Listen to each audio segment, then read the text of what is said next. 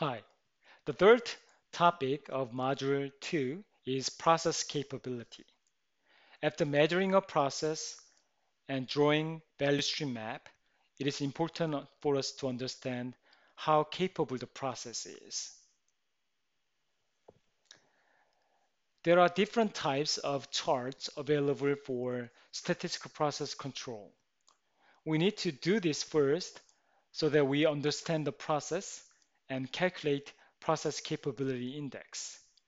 The most fundamental chart in statistical process control is X-bar and R-chart. X-bar chart concerns the central tendency of a process where R-chart represents dispersion of the process.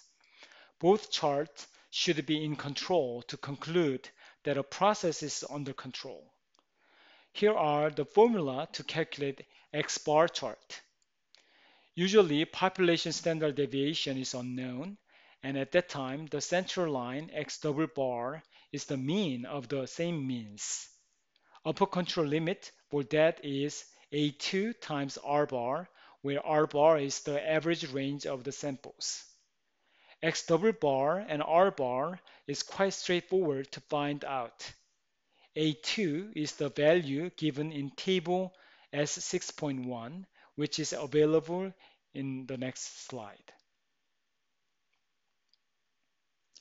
R chart can be similarly calculated.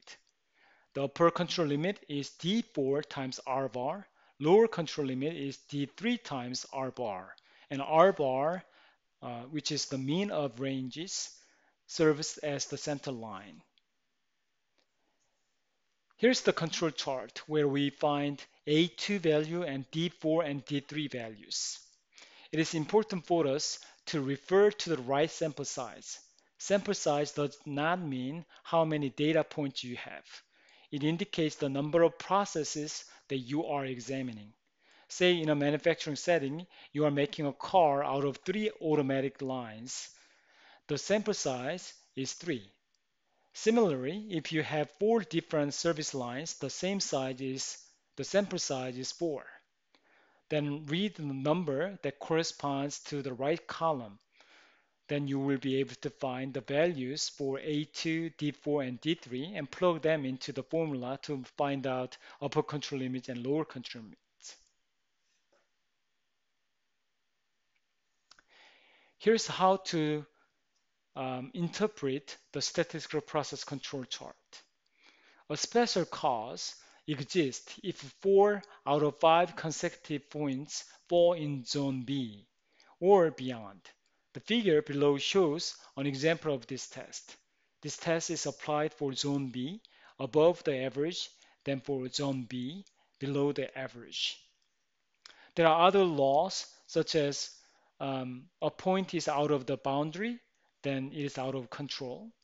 And you see um, two out of three points are remaining in zone A, then it's a symptom that the process is not really capable or goes out of the, uh, the, um, the uh, control. Rule 4, 8 or more consecutive points on one side of the center line is right there. It's supposed to oscillate but it's spend, uh, staying on the other side like this, then it's problematic. And rule five, a trend is six or more consecutive points increasing or decreasing like this, then it's also a sign of, of a problem. Then let's go through uh, this statistical process control chart again together. Rowan Bank aims at serving customers in five minutes after entering the bank industry. Five steps usually serve students, and uh, the business process improvement students decided to measure the process. Visualize the process using statistical process control chart and calculate its process capabilities. So let's uh, uh, look at the data. We see there are four step, uh, five steps and they are working from 9 o'clock till 5 p.m. And here is the average, uh, the time, wait time for uh, a customer. And uh, they saw step one or two or three or four or five. And this data was collected for the entire day. Then we have to now um, work on X bar chart and R chart. Let to work with X bar and R chart, we need to find the X bars, which is the average of this uh, time at 9, and that's 4.98. The range is maximum minus minimum, so maximum is 6.1, minimum is 4.5, then you have 1.6, the difference.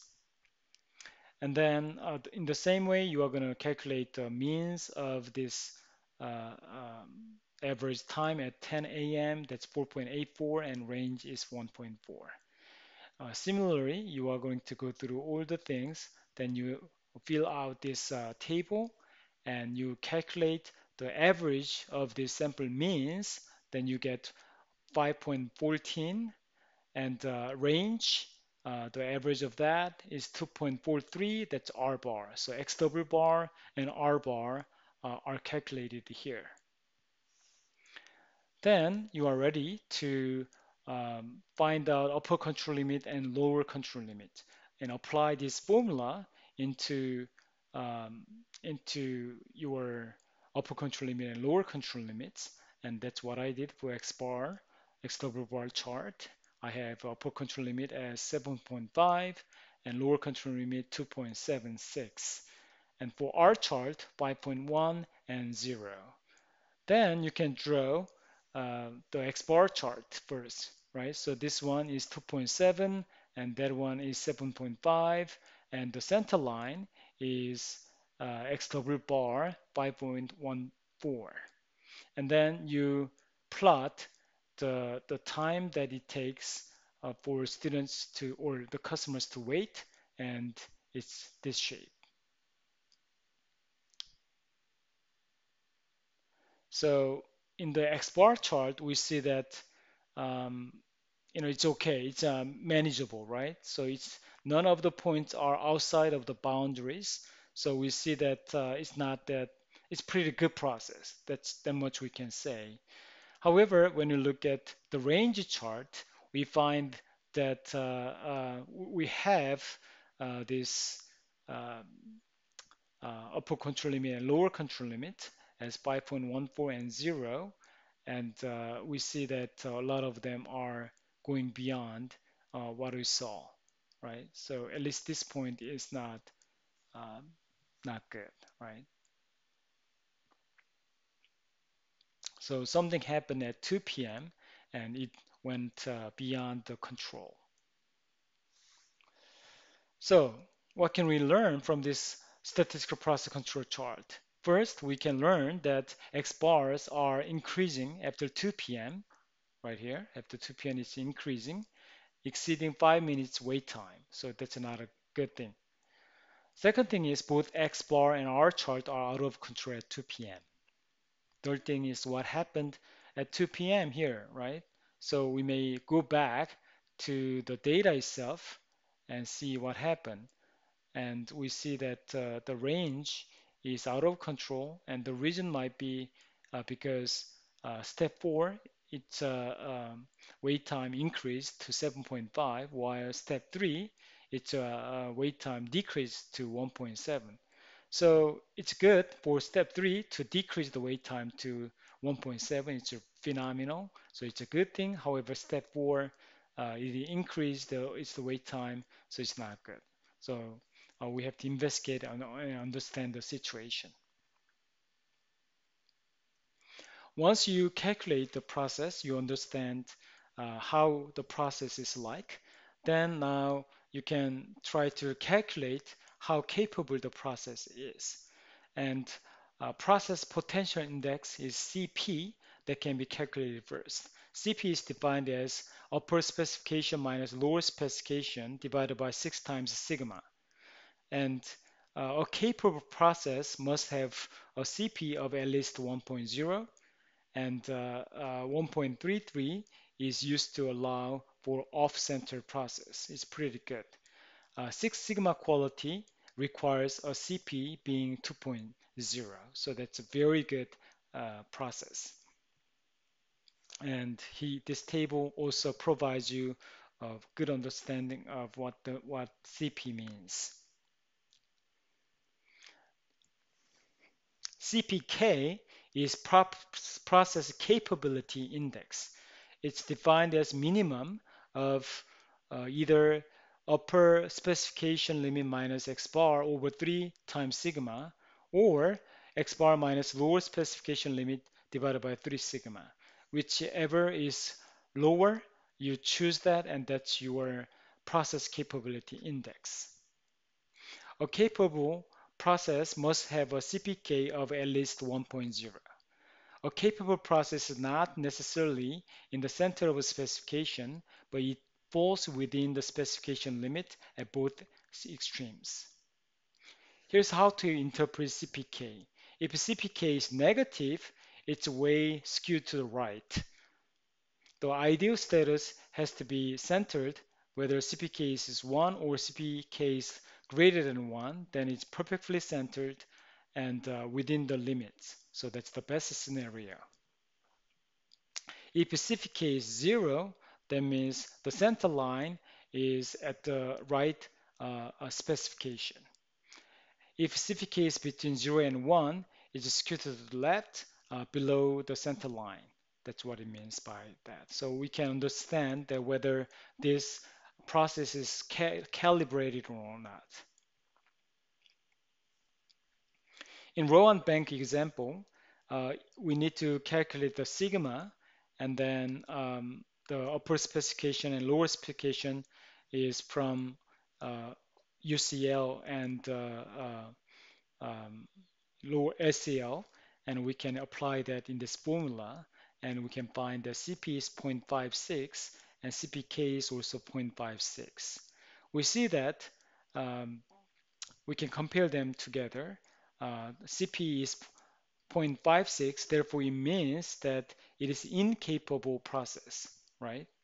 And uh, uh, it cannot meet its goal effectively. CPK is 0.56, which means that uh, the process is shifted to the left from the center. The process needs to be recalibrated. That's how we can interpret Rowan Bank uh, process. Let's go over a few questions together. When the natural process limits exceed the specification range, which of the following courses of action may require customer approval?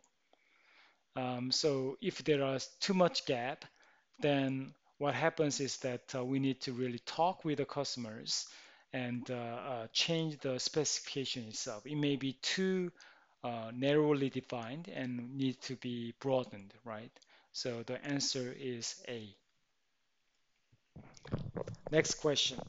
The question assumes uh, 6 sigma and converts it to 3 sigma level. The reported CPK for a process with an average of 28, a spread of 10 units, and upper and lower specification limits of 35 and 15 respectively would be. So this one, um, you know, requires us to calculate CPK. So we know that uh, CPK formula is USL minus x bar over 3 sigma. So uh, if we put uh, uh, this formula into it, at 6 sigma level, the spread is 10, then at 3 sigma, it is 5.